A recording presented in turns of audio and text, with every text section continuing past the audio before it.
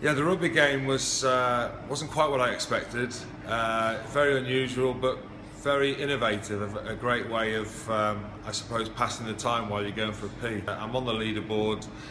Didn't last as long as I, you know, thought I'd last, but uh, I'm up there, and I'm pleased to just get it, get a result and get a score. But it's a very innovative way of, uh, of you know, getting, you know, involved in the rugby, and of course, Betsafe as well you could get extra points on the length of your time. Thank you.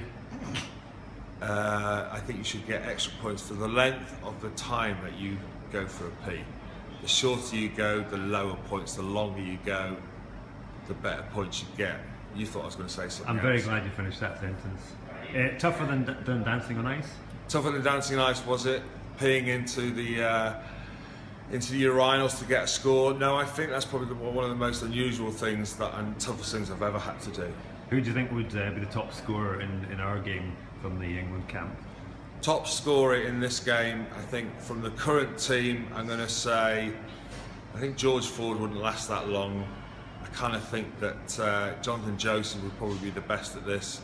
Um, in old school, in my era, someone like Brian Moore would, or Jason Leonard actually, after a couple of drinks, we'll probably spend a long time down at the urinals, working out which is the ladies and which is the men's.